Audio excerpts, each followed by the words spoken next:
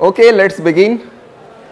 So uh, today I want to talk about a little bit about ultra products again, generalization of ultra products and Łoś's theorem.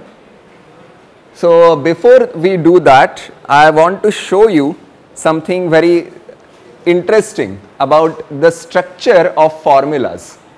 Okay, so let's start with uh, a particular formula in appropriate languages. Okay, the languages are going to be different. So the first formula I am writing down is this. For all W1, W2, uh, GW1, W2 is equal to GW2, W1. What does this represent? Commutativity of the function symbol G okay or its interpretation fine. Then another thing I am going to write down is this for all W1 W2 uh, there is a bracket RW1 W2 conjunction RW2 W1 this thing implies W1 is equal to W2. What does this represent? Antisymmetry of the interpretation of the relation symbol R. And last one I am going to write down is for all W1, negation W1 equal to 0 implies there exists a W2 such that uh, GW1 W2 is equal to E and GW2 W1 is also equal to E. What does this represent? Multiplicative inverse yeah in, in an appropriate language. Oh sorry uh, I made a slight error here I should not be writing 0 I should be writing C.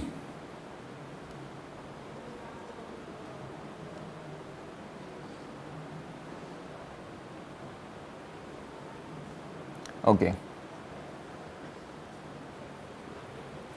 Okay, so these are three different types of sentences.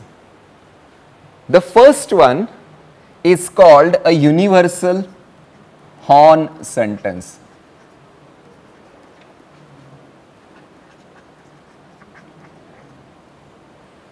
Okay, so what is its form?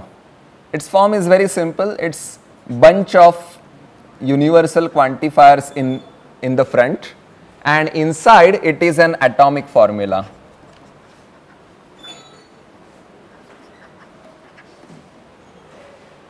Okay, then the second one is called a strict horn sentence.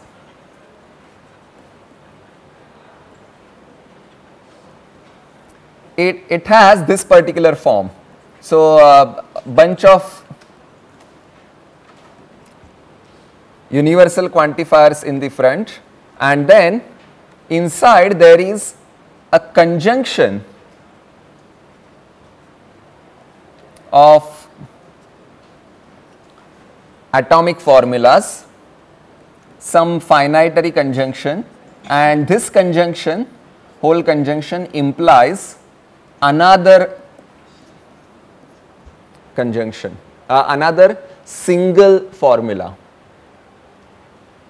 So, in particular if I choose n to be equal to 0, what do I get?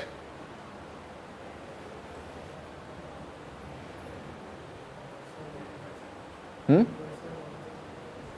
The universal horn sentence. Okay, so strict horn sentence, uh, yeah, it's horn as in these horns.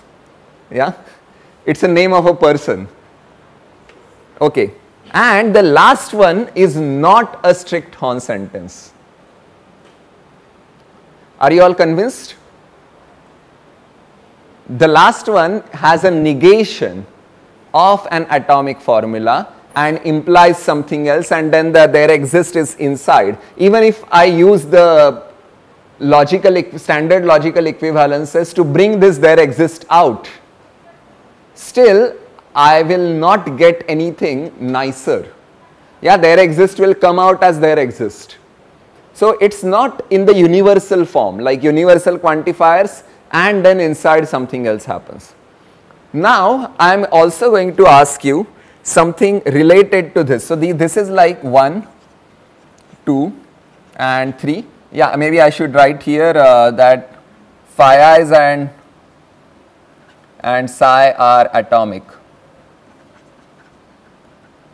Okay. Now, uh, the first one is satisfied let us say by a group yeah when g is interpreted as a binary function. So, is the cross product of two groups a group?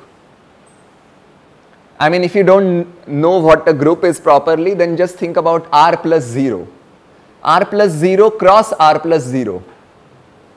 Is that a commutative group? Does it satisfy commutativity? How is the sum defined in r, r cross r? Component wise. Okay, so uh, r plus 0 cross r plus 0 is commutative okay so in general any interpretation if you have two structures for which there is some g which is commutative then I take cross product of those two structures the product structure yeah we have defined product structure properly then that will satisfy this commutativity property. Okay second one if I take two different posets, so P1 less equal cross P2 less equal, yeah this is also a product of structures. Is it still antisymmetric component wise?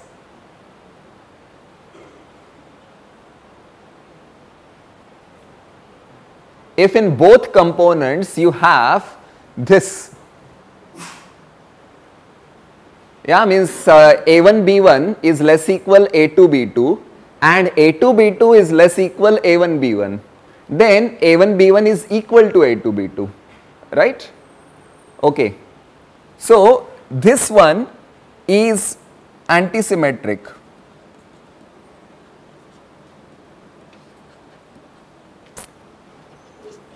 third one on the other hand if I take real numbers with addition multiplication minus 0 1 our usual thing and I take its cross product with itself. Yeah, we have already seen this is not a field. This is the field axiom. It says that every non-zero element has a multiplicative inverse.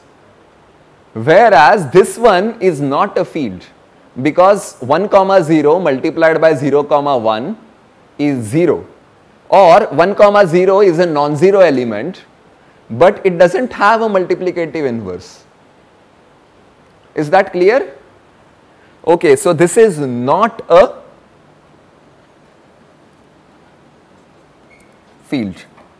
Similarly, can you tell me uh, the distinguishing property between linear orders and partial orders, trichotomy.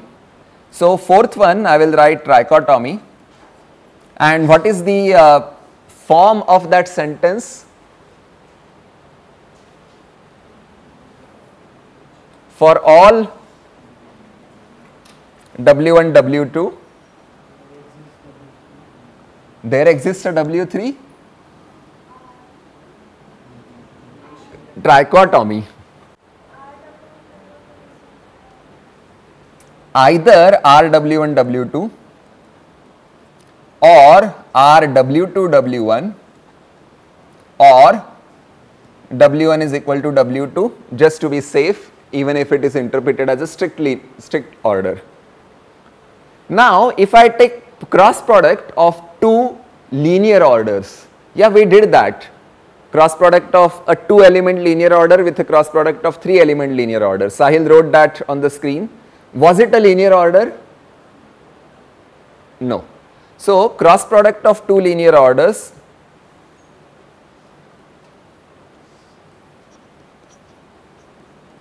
So L1 less equal cross L2 less equal uh, does not satisfy trichotomy. So again look at the form of this particular sentence. This is not a Horn sentence, it is not a strict Horn sentence. Because it uses universal quantifiers and then disjunction inside. Okay, so what is important here is that if your uh, sentence, if your axiom happens to be a universal Horn sentence, then it is preserved under products and conversely also it is true. Okay. So, a sentence is a universal Horn sentence if and only if it is preserved under generalized products. Okay, now I am using a slightly uh, different word, but anybody has any problem with this? Well, perhaps you can ask the question, can't you find out anything which is logically equivalent to, let us say trichotomy, and which is a universal Horn sentence? But the answer is you can't. Yeah, and that is because it is not preserved under products. Because this is an if and only if statement. So, more generally, yeah, I mean, now let us go and do some theory. So, uh, all of you remember this structure, product of mi, i in i. Yes, this is the product structure. If I quotient it out by a relation, yeah, I mean instead of this maybe I should write, so you remember this was an ultra product and at, one point we did check that tilde u, yeah, tilde u is an equivalence relation, equivalence relation on the product of the sets underlying sets. And uh, if you remember the proof of this equivalence relation, then reflexivity, transitivity and symmetry were the three conditions that we checked. But in none of those conditions we actually use the full definition of an ultrafilter every time whatever we used was oh it should be closed under intersections finite meets and it should be closed under upper bounds. We never used so we only used yeah but uh, we only used that uh, u is a filter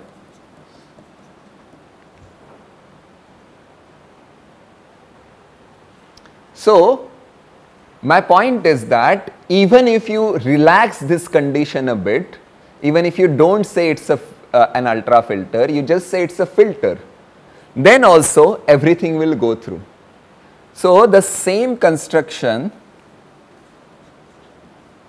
the ultra product construction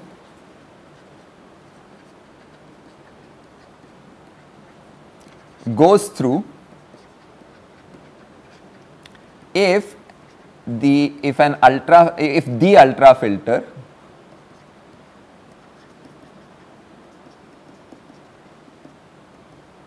u is replaced by a filter. Say f. Can you give me one very simple example of a filter?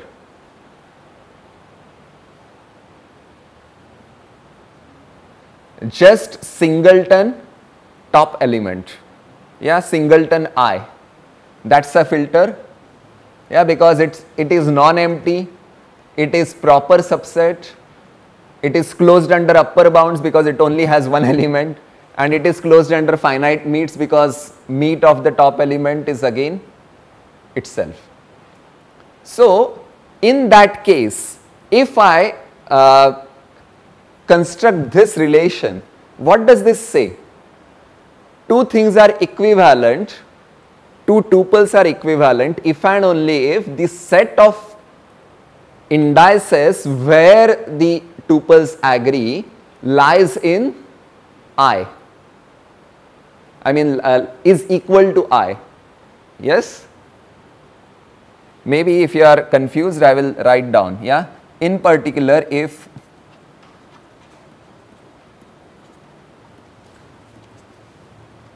if f is equal to singleton i then ai i in i is f equivalent to bi i in i if and only if the set of all indices such that ai is equal to bi this one belongs to f but what is in f only capital I. So, if and only if for all i in I, ai is equal to bi. Well, this means that we are not quotienting out by any non-trivial equivalence relation, it is this just the identity. So, therefore, so therefore, uh, product of mi i in i modulo f is equal to just the product of mi's. We are not, not identifying anything here. So, this shows that if you replace an ultra filter by an arbitrary filter, then product is also a filtered product. An ordinary product is also a filtered product. Okay. Uh, oh yes. Here I should write the name, yeah. Uh, to get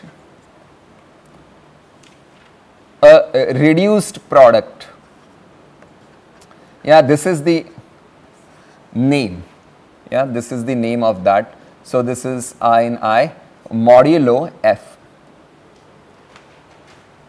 Yeah, so ultra products are generalized to reduced products and reduced products, it's not just one reduced product. Yeah, if you change your filter, you will get another reduced product. And one particular example of a reduced product is just the product.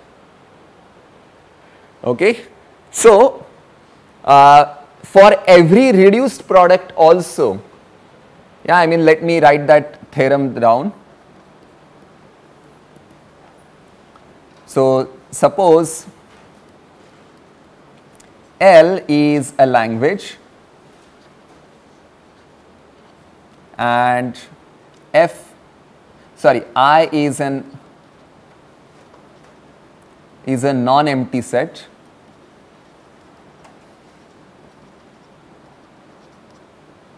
Mi f a filter on i then mi i in i an indexed family of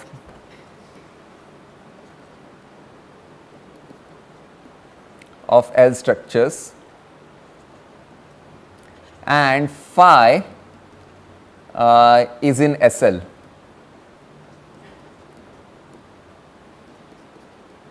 Then the reduced product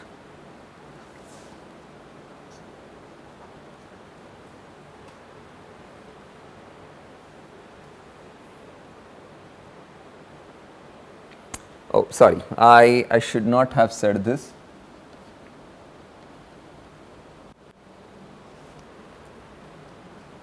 I will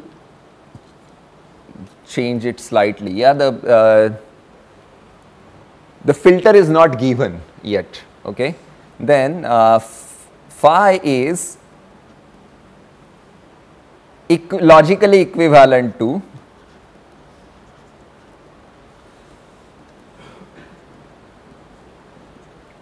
a strict horn sentence.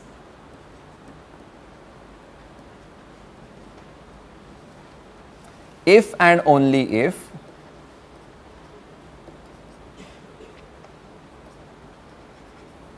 for all filters f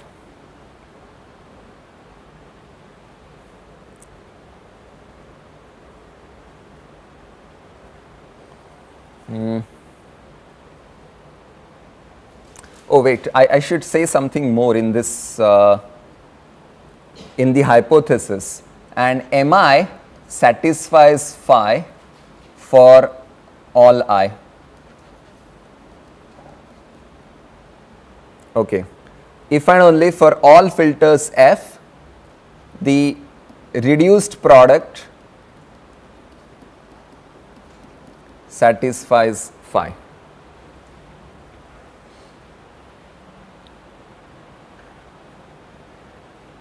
I already gave you lots of examples, yeah, that antisymmetry, commutativity, associativity, identity, they are all examples of uh, strict Horn sentences. And if your component structures satisfy the uh, strict Horn sentence, then for all reduced products that will happen. Yeah, because this is an if and only if characterization. And you can see how beautifully you can know about the form, the syntactic form of a sentence based on a model theoretic property. Okay, uh, now once again focus on this red sentence. What does this say? That we have only used that U is a filter. Then why are we talking about ultra ultrafilters at all? Where exactly was it used in Łoś's theorem? So I am going to show you that part now. So if you remember Łoś's theorem, I am not going to write down full statement but just uh, this. So, product of mi i in i modulo u satisfies phi uh, phi x let, us say phi at h1 h2 hn their equivalence classes if and only if the set of indices such that Mi satisfies the individual component structure uh, components H1i up to Hni lies in U. We never really proved this. Yeah, I told you that the proof is very simple. It's just uh, induction on the complexity of formulas, but I am going to point out your attention to one particular proof, uh, one particular part of the proof. So, let us say suppose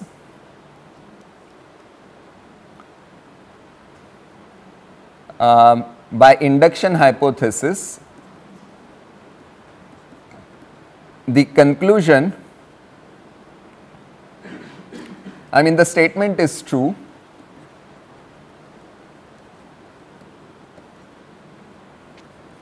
For phi x bar. And we want to show it. We want to prove the statement for negation phi x bar.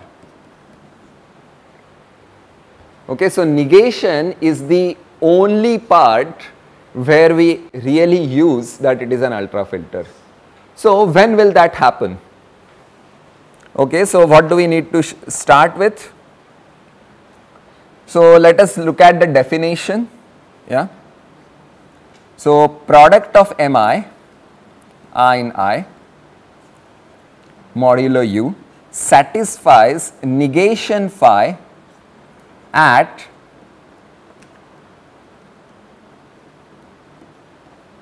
these equivalence classes of choice functions. If and only if, yes, I am going to write this. What can you say about the product satisfying phi at this collection? It does not. Okay.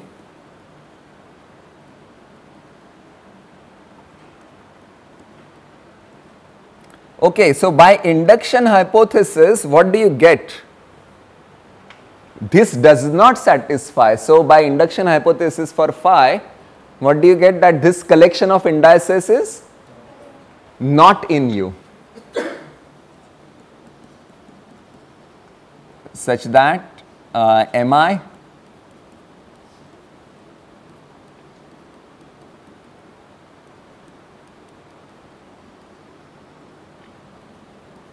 is not in U by induction hypothesis.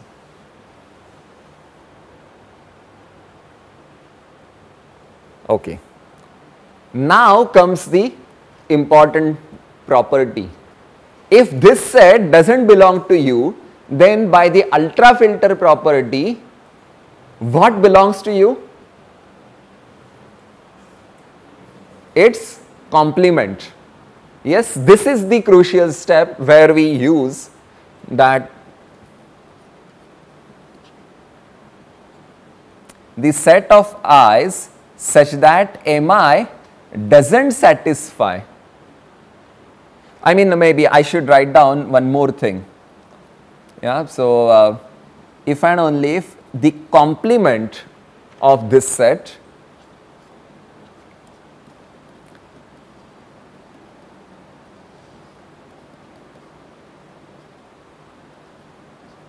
belongs to you by ultra filter property.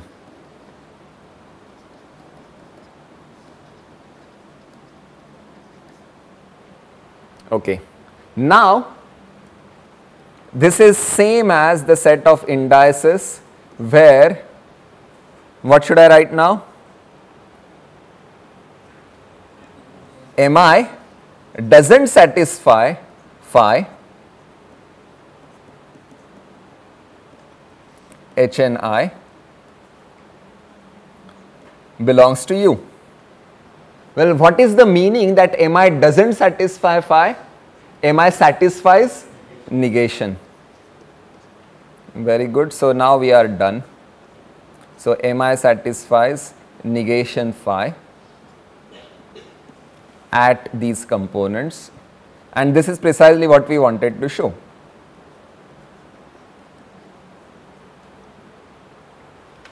Okay all the remaining things there exist and conjunction everything is simple. But this is the only crucial property where we use that it is an ultra filter. And that's why Łoś's theorem is a very strong statement. It says that if majority of the structures component structures satisfy your property phi then the ultra product will also satisfy it but we just saw on the previous slide to contrast that, that even if all of the structures satisfy phi, the reduced product may not satisfy it unless it is a very particular type of sentence. It is a strict Horn sentence. Okay, so that's why R cross R is not a field yeah and we had to work hard and to get hyperreals to quotient out by an ultra filter. You understand this part now? And I also gave you a sketch of some part of the proof. I mean this is an actual proof of the negation part. Yeah, there is no point in writing down the full proof of Łoś's theorem. Let us go ahead then. Fine. So, now we are going to talk about a concept which was originally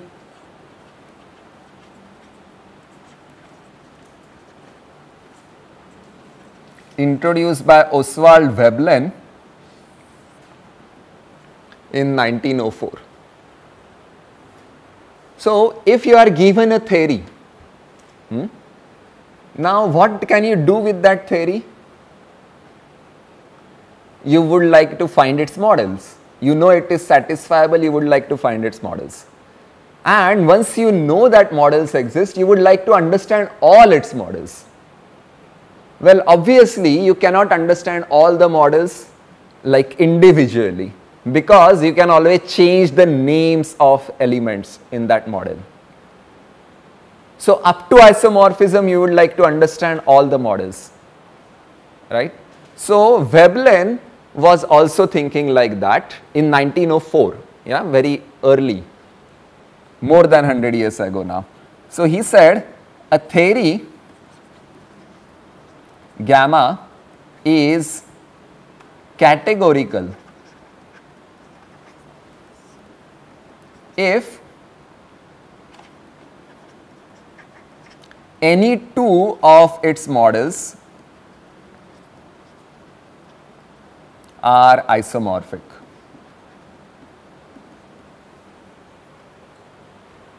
Okay. Now, can you give me one example of a theory which is categorical? Sets with n elements. Yeah. Uh, if you if set with n elements is the theory, then sigma n is the sentence that we write. So, if one model satisfies sigma n and another model satisfies sigma n, then there are n elements and you can't really say anything else about them you cannot distinguish between those two elements and then there is a bijection between any two n element sets right.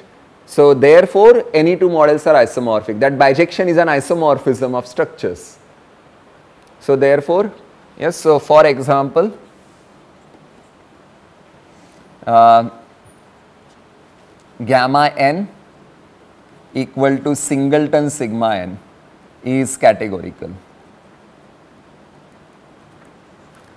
and uh, it wasn't really surprising but Veblen and all his successors only found examples of categorical theories which have finite models. Okay, so then in 1917 or 18 just after first world war so Löwenheim and Skolem, I mean, I think it was just Löwenheim in the beginning and then Skolem added something. So this is around 1917. So they proved their theorems. Yeah, which says that if your theory has one infinite model, then it has infinite models in all cardinalities, bigger equal the cardinality of the language. Yeah, if a theory gamma has one infinite model, then for all kappa bigger equal the size of L, there is a model of size kappa. So, if two different models have different cardinalities, can they be isomorphic? Obviously not, yeah, because there can't even exist a bijection. So, for isomorphism, existence of a bijection is the basic requirement. So, therefore, you cannot have any categorical theory right. So, no categorical theories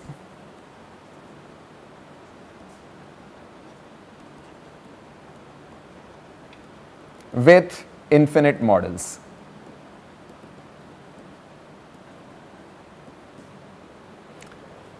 Okay, so this was a very easy consequence of that, but a mathematician doesn't really stop. If you get a counter example, then you modify your definition. Okay, so then people said, why not study a graded version of categoricity. What's the graded version? That you fix a cardinality and then ask whether there is a unique model of that cardinality up to isomorphism. So, this is the definition of kappa categoricity.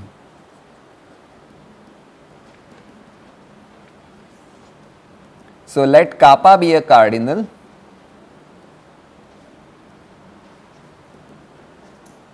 say that a theory gamma is kappa categorical if any two models of size kappa are isomorphic. This one is more believable, yeah, because now you can at least talk about bijections. Yeah, the problem with Löwenheim-Skolem theorem's conclusion is that their cardinalities are very different. So, you, it does not really make sense to ask for something nice. Okay, uh, so when kappa is aleph naught, yeah, this is just a note. Yeah, so note if kappa is equal to aleph naught, then uh, the literature mentions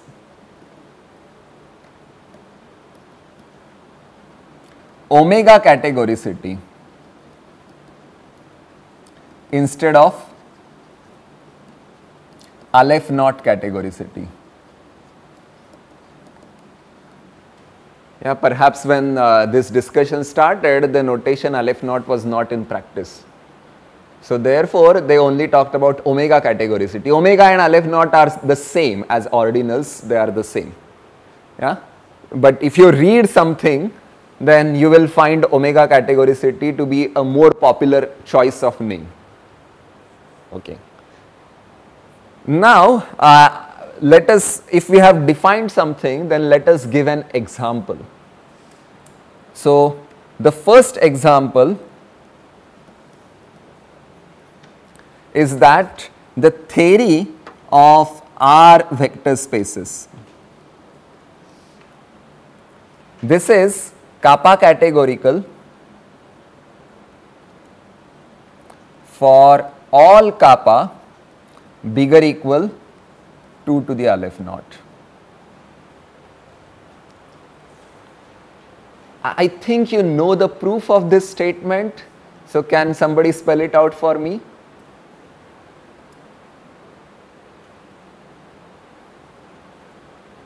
What is a model of the theory of R vector spaces? R vector space. So, two models of size kappa, how are they determined?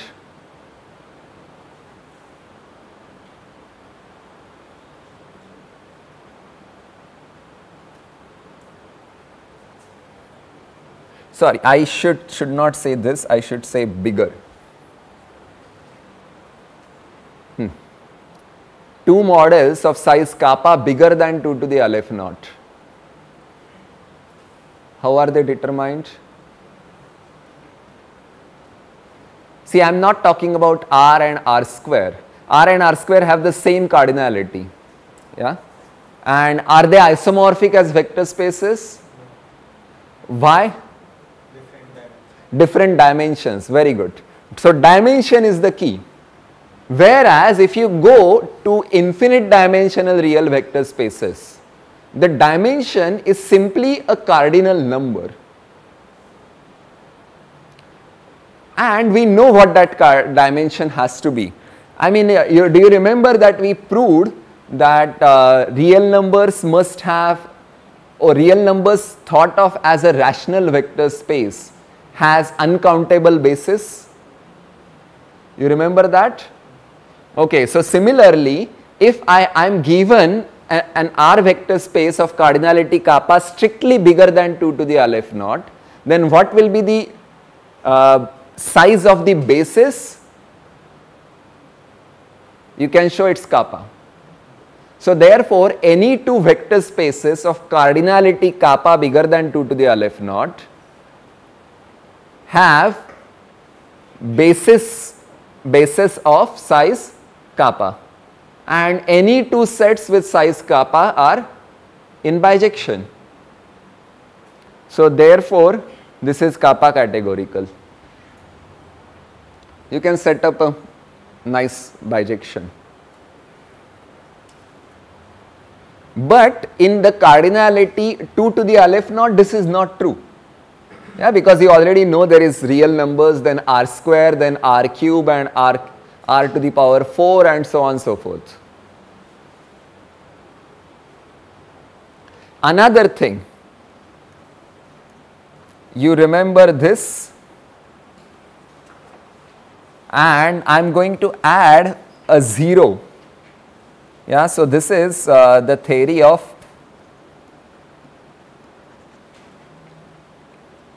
algebraically closed fields with no multiplicative torsion element, no non-zero uh, multiplicative torsion element. element. Uh, what do I mean by that? That if a is not equal to 0 then that implies that a to the power n is not equal to 0. Okay, so this is what I mean.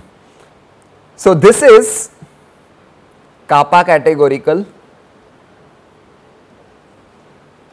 for all kappa bigger than aleph naught. So all uncountable cardinalities, this is kappa categorical. So do you know any uncountable algebraically closed field satisfying this property? Real numbers. Real numbers, are they algebraically closed? Because x square plus 1 equal to 0 doesn't have a root. So they are not algebraically closed. But complex numbers are. So complex numbers, what is their, their cardinality? 2 to the aleph naught. So it is strictly bigger than aleph naught thanks to Cantor's theorem. Yeah, so this one is also like complex numbers are the only algebraically closed fields of characteristic 0 that is the 0 uh, is written as characteristic 0 in cardinality 2 to the aleph naught.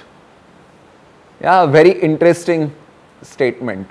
In fact, um, yeah, and I will give you more examples but at the same time we saw yesterday yeah but gamma ACF uh, 0 is not aleph naught categorical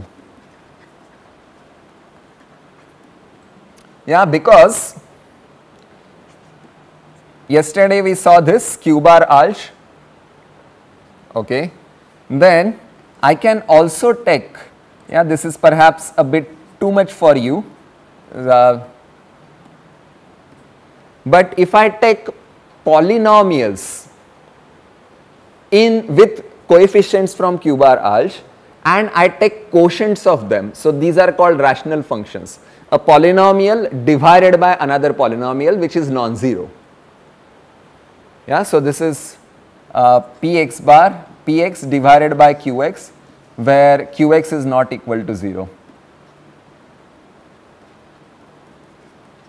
Not identically 0 polynomial. Yeah? So this is called the field of rational functions. So this is another example of an algebraically closed field. Similarly, yeah, I can always attach another variable and I can also say q bar alge x1, x2, xn for any n variables. So, you take polynomials in n variables, take their quotient rational functions and that is also an algebraically closed field. Okay, so these are different algebraically closed fields. They are not isomorphic because the number of variables is called the transcendence degree. So the transcendence degree in this case is 0, in that case is 1, 2 and n. Okay, so transcendence degree is different so they cannot be isomorphic. So this is not true. However, uh, yeah and perhaps we, we, we should look at one most important example, yeah the third one that is gamma DLO unbounded. So, this is Aleph naught categorical.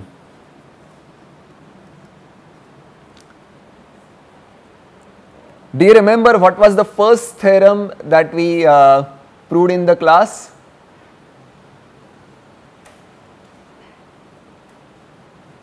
The very first theorem. Huh? Cantor's theorem, very good. So this one is also due to Cantor. Okay, so this is called Cantor isomorphism theorem.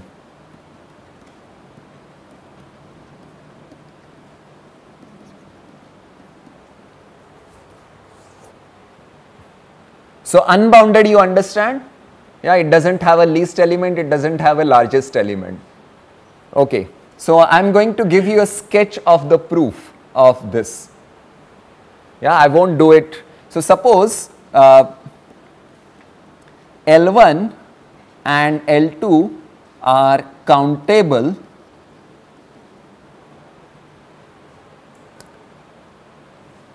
unbounded dense linear orders. Okay, so its uh, dense linear orders which are unbounded have this property that between any two distinct elements there is a third element, below any element there is another element and after any element there is another element. So these are the properties and these are countable that is given. What does countability entail? That there is a bijection with natural numbers. So bijection with natural numbers means which means that we can list all the elements. So let us list. So L1 I am going to list as A0, A1, A2, A3 and dot dot dot. Then L2 I am going to list as B0, B1, B2, B3 and dot dot dot. Okay. Now I am going to describe, I am going to construct a bijection between these two. Okay. The idea is called back and forth method. This is a very uh, interesting and useful technique in mathematics. Okay, so it's like a ping pong ball match. Okay, so back and forth method. You first say that, that A0 is mapped to B0. Okay. Then you look at the least index here that is not used. What is that? B1. B1 is not used. Now you compare. Yeah, this is the comparison part. So either B, B1 and B0, what can happen? Either B0 is less than B1 or B0 is bigger than B1. Okay. Now, if this happens, if this happens, then what I, what do I, where do I map to B1? Where, where do I map B1 to? So, A0 is, is paired with B0 now B1 is bigger. So in this list, I find the first element which is bigger than A0. Why does it exist? Because it is unbounded. So suppose, suppose A3 is the least index such that A0 is less than A3. Then what will I do? I will map B1 to A3. Now, one round of back and forth is done. See, first I mapped something from L1 to L2. Second time I mapped something from L2 to L1. Now, I will again choose the least unused index. What is that? A1. Okay. Now, A1 I am supposed to map somewhere, but I already have the configuration of chosen elements. Now, suppose A0 and A3 and A1. Now, I have to look at where exactly A1 lies.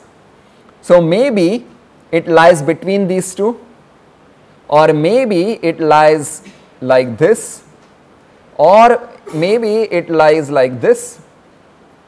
Whichever property for the first one I will have to use density of L2. Yeah, by density of L2 I can find an element between B0 and B1 and which has the least index. So I will map it to that. If the first one is uh, true then I will use that it is unbounded below and for the last case I will use that it is unbounded above.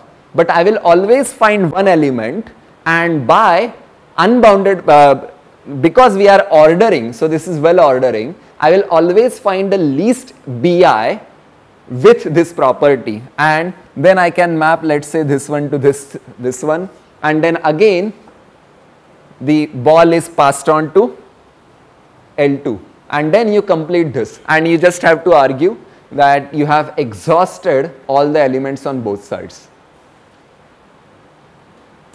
You understand? So this will set up an order preserving bijection between two linear orders. So this was the original argument of Cantor. Yeah, that's why it's called Cantor isomorphism theorem. So rational numbers are a dense linear order without endpoints. Similarly, uh, any open interval 0, 1 yeah, this is isomorphic. Rational numbers and 0, 1 are isomorphic. I mean, sorry, I mean not this whole interval, but intersection with rational numbers. The rational interval 0, 1, rational interval 2, 3, they are all isomorphic to rational numbers as a model of gamma DLO unbounded. On the other hand, if you had one lower bound, let us say, it is bounded below but unbounded above. Then you always map in this process the lower bound to lower bound and you continue with the process. Get it? And similarly, if it is bounded on both sides, then also you map lower bound to lower bound, upper bound to upper bound, and in between you just play the same game. So there are four different theories which are categorical. And if you remember Łoś-Vaught test, it talked about something like categoricity implies completeness. Okay, so we are going to start tomorrow with the proof of Łoś-Vaught test. And we'll prove that this particular theory is complete. Similarly, this theory gamma ACF0 is complete.